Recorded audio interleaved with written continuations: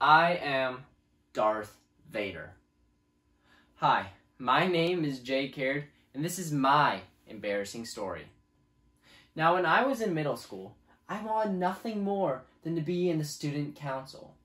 So when I saw that they were holding elections, I just knew that I had to run. I decided to put my name in the ballot for Sergeant at Arms. Why? Because that position sounded awesome.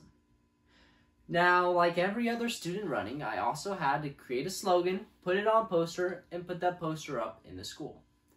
However, we also had to create a four to six minute speech to give to every other student in the school and the teachers. This would be done during an assembly. Now, the day of the assembly came, and I was feeling really good. And then sixth period hit, and I started to get butterflies in my stomach, and I felt really nervous.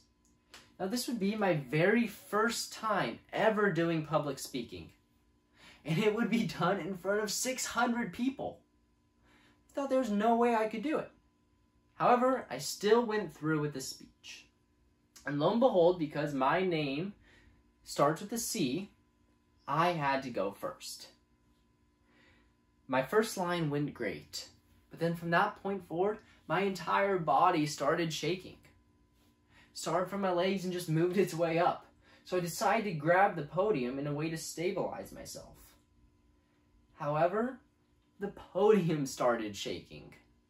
So here I am, reading off a piece of paper, with my podium and my body all shaking. And trust me, it was very noticeable to everyone.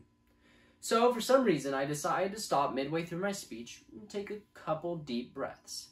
However, I never realized that the microphone was still up to my mouth. So, as I got up there, every other student inside that gym heard this sound. And it sounded none other than like Darth Vader.